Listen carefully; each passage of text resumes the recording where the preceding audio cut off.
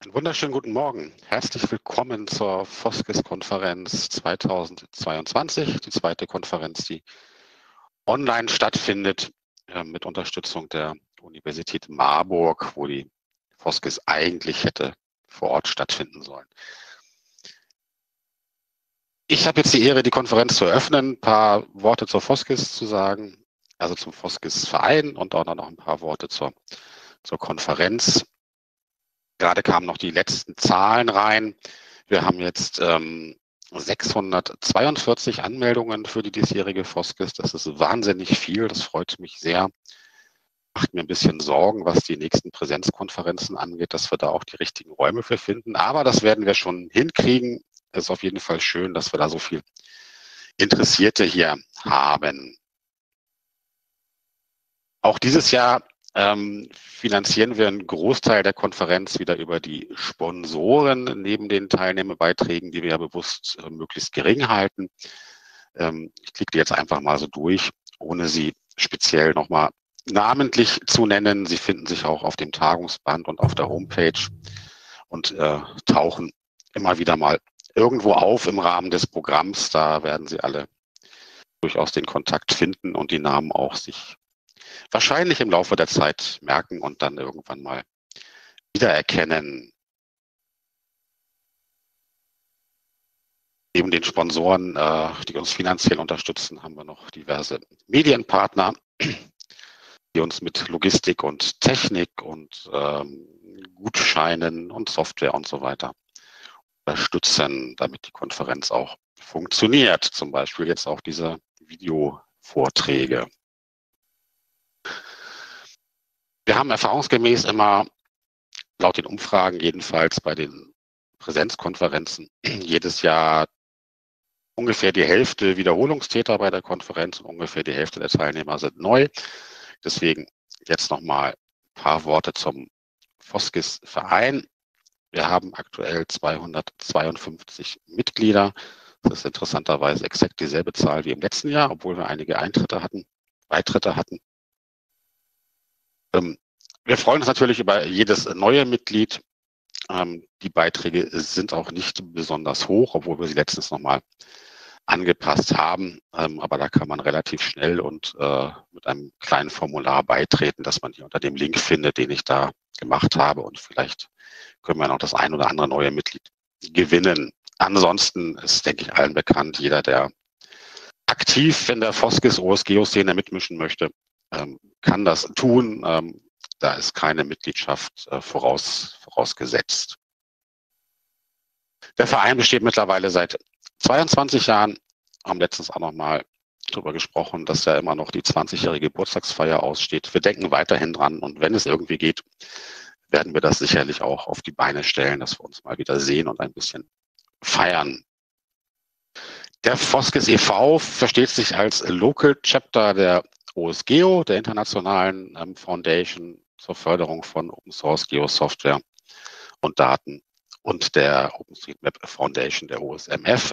Local Chapter ähm, bezieht sich auf den deutschsprachigen Bereich, also Deutschland, Österreich und der Schweiz. Die Foskes-Konferenz besteht seit 2003. Das heißt, wir haben dann auch im nächsten Jahr schon das 20-jährige Jubiläum der Foskis-Konferenz, fällt mir gerade auf. Vielleicht kann man sich da ja auch noch was Schönes für ausdenken. Äh, werde ich mir mal hier gedanklich notieren. Wir haben eine schlichte, aber informative Homepage vom Verein. Ähm, die ist natürlich frei zugänglich. Da gibt es die News-Seiten ähm, was immer so wo stattfindet, was gerade an Aktivitäten ist. Ähm, ab und zu besuchen wir andere Veranstaltungen hier unten, warum Open Source immer wichtiger wird. Dann gibt es da kleine Berichte. Ähm, ansonsten, was so passiert, ähm, die Arbeitsgruppen stellen ab und zu mal Berichte ein. Da kann man sich ein wenig informieren, ohne sich irgendwo einzuschreiben in Mailinglisten oder in Chats. Ähm, eine News, die wir gerade gesehen hatten, ist die Dienstleisterliste, die wir nach längerer Vorbereitung dann ähm, jetzt auf die Beine gestellt haben und die funktioniert. Da kann man sich als Foskis, OSGeo, OpenStreetMap Dienstleister eintragen lassen, weil wir ab und zu auch mal Anfragen kriegen nach professionellem Support. Wer kann uns da weiterhelfen? Und um das möglichst neutral zu gestalten, haben wir uns dazu entschieden, diese Liste auf die Homepage zu packen. Da sind schon sehr viele drauf, äh, können aber natürlich gerne auch noch mehr werden. Wir haben relativ neu ähm, auch diese, diese Termine und den Vereinskalender, was ja auch interessant sein soll, äh, soll ähm, interessant ist, denke ich mir, wo man sich über anstehende Termine ähm, informieren kann. Das sind äh, Konferenzen, das sind Arbeitsgruppentreffen, das sind auch ähm, Sitzungen des Vereinsvorstands, die, die öffentlich sind und ähm, online stattfinden. Den Kalender kann man sich abonnieren bei sich selber mit, mit einbinden oder hier eben auf der Homepage äh, sich das äh, angucken, ab und zu mal durchklicken. Und wie man unten sehen kann, man kann diese einzelnen Einträge mit den Dreiecken sogar anklicken ähm, und dann geht noch eine neue Zeile auf, wo ein bisschen mehr Infos drinstehen und dann auch wirklich der Link, äh, um die Teilnahme zu ermöglichen. Das ist nicht unbedingt sehr offensichtlich und findet nicht immer jeder, deswegen erwähne ich das hier nochmal. Ansonsten, wer mit dem Verein oder mit anderen Mitgliedern in Kontakt treten möchte, hat die Möglichkeit, das über Mailinglisten zu tun. Die Hauptmailingliste ist sicherlich die Foskis Talk-Liste. Hier mal das Screenshot dazu mit Anmeldung, mit öffentlichem Archiv, ähm, wo nicht nur Vereinsangelegenheiten besprochen werden, äh, das kommt durchaus auch vor, aber wo auch viel Fragen eingehen und beantwortet werden. Zu Software Support, viel mit, was viel geht zum QGIS, ähm, ListMap, manchmal irgendwelche Webmapping-Fragen, PostGIS-Fragen, die dann da irgendwie randocken. Also da ist jeder herzlich eingeladen, sich anzumelden und mitzulesen, vielleicht auch mal eine Frage zu stellen, mitzudiskutieren. Und außerdem gibt es noch einen Matrix-Kanal hier auf der rechten Seite das ist auch der öffentliche Foskis-Channel, wo man sich auch mit, mit einklinken kann, um noch schneller als per Mail vielleicht mal zu diskutieren, Fragen beantwortet zu kriegen. Findet man alles auf der Homepage. Jetzt keiner merken und abfotografieren. Dann haben wir auch einen Twitter-Kanal. Ähm, speziell für die Konferenz ist der Hashtag Foskis-Conf mit K vorne geschrieben, die Konferenz. Da wird es sicherlich eine ganze Menge Tweets geben im Rahmen der Konferenz, auch mit aktuellen Infos. Also wer bei Twitter angemeldet ist, ähm, kann sich diesen Hashtag auch mal abonnieren. Und ähm, wer was twittert zur Konferenz, kann natürlich sehr gerne auch den Foskis Konferenz Hashtag benutzen, um da ein wenig uns bei der Öffentlichkeitsarbeit zu unterstützen. Dann komme ich schon zu ein paar organisatorischen Aspekten der Konferenz. Ähm, wir sind ja alle schon in dem ähm, Online-Portal von der Konferenz drin ähm, und können, können mich hören, wie ich diese Eröffnung hier gerade halte. Da gibt es noch ein paar weitere Menüpunkte. Vielleicht hat der ein oder andere sich schon mal durchgeklickt. Vielleicht sind auch so ein paar Sachen natürlich schon vom letzten Jahr bekannt, wer schon mal dabei war.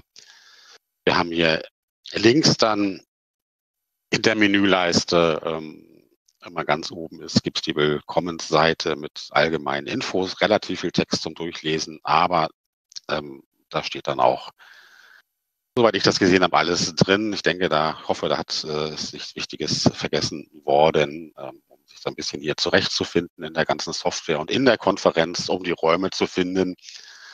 Ähm, wir haben den Zeitplan wir haben eine Teilnehmerinnenliste. Das sind, glaube ich, die, die gerade online sind und nicht die gesamte Liste, wenn ich richtig das in Erinnerung habe. Und wir haben dann noch ein paar weitere Punkte, auf die ich jetzt nochmal eingehen möchte. Ähm, das eine ist dann hier die Netzwerkwelt mit dem Screenshot. Vielleicht schon vom letzten Jahr bekannt, ähm, mutet so ein bisschen 80er Jahre mäßig an von der, von der Grafik her.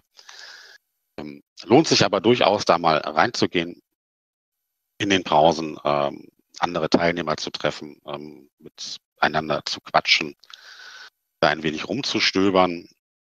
Da wird auch heute Abend ähm, das ähm, Social Event stattfinden und ich habe hier auf der rechten Seite im Screenshot die Bühne mal ein bisschen vergrößert.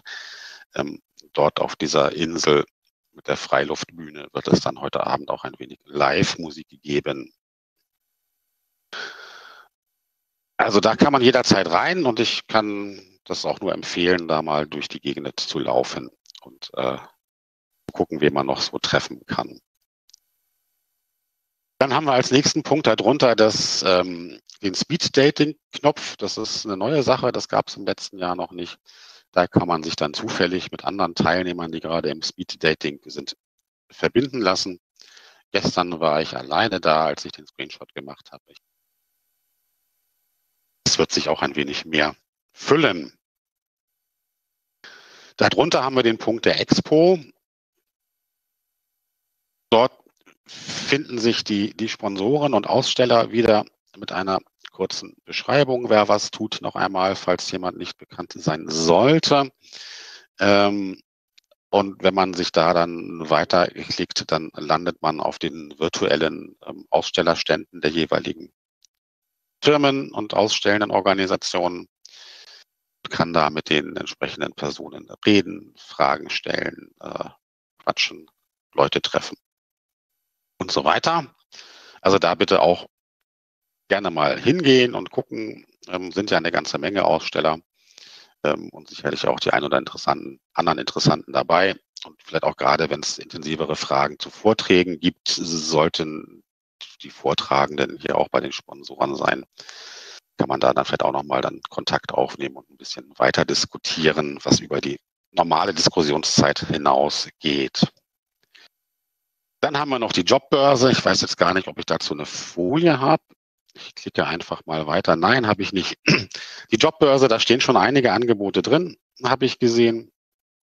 Ähm, also es gibt im Moment eine ganze Menge Geo-Jobs ähm, zu vergeben. Wer da was sucht, findet da sicherlich was und kann dann dementsprechend auch Kontakt zu den Firmen aufnehmen, die Jobs zu vergeben haben in dem Bereich. Ähm, Genau, das waren die Punkte hier oben links, auf die ich nochmal kurz eingehen wollte. Dann haben wir die verschiedenen Bühnen, ähm, wo man dann hin und her switchen kann, auf welche Bühne man gehen muss, um welchen Vortrag zu hören, findet man dann natürlich im Programm und ähm, weiter unten die, den Expertinnenraum und die ganzen ähm, Räume für die Workshops, die Expo-Räume tauchen da nochmal auf. Ähm, ich denke, da ist genug Gelegenheit, sich mal durchzuklicken und ein bisschen sich hier auf der Online-Konferenz umzutun.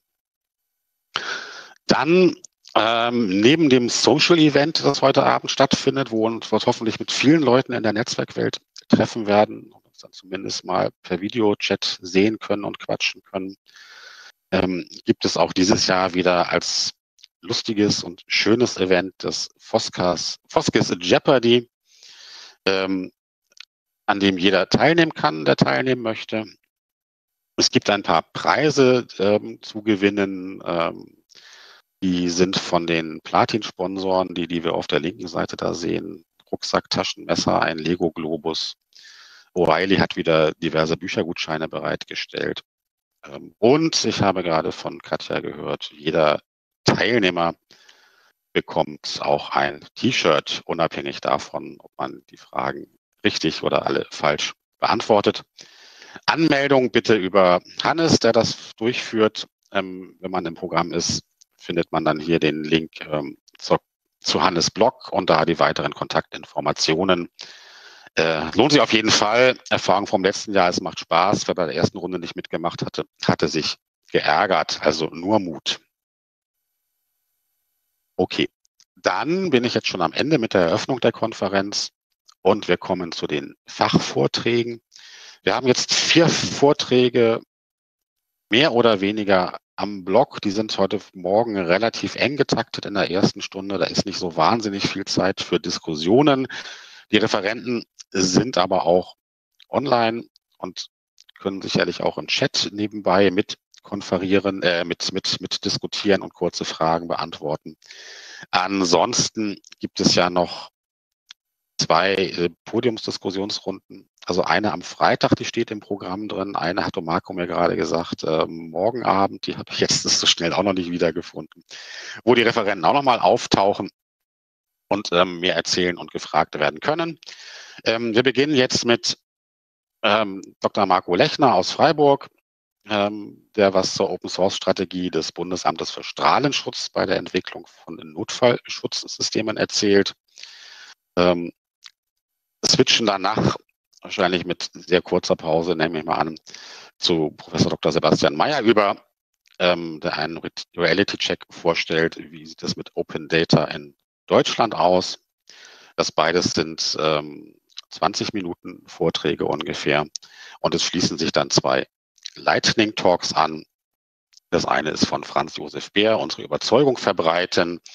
Ähm, ein Buchprojekt Open Source um Open Data in der Geoinformatik. Da ist er schon sehr lange dran und hinterher, das habe ich mitgekriegt. Und ähm, vielleicht gibt es ja den nötigen Ansporn, dass das jetzt nochmal ein bisschen besser und schneller vorangeht und auch mal abgeschlossen werden kann. Das wäre ja sehr schön.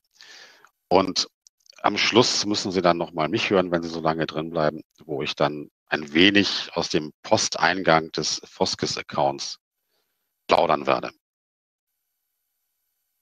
Das war meine letzte Folie. Vielen Dank, dann können wir mit den Vorträgen starten, denke ich.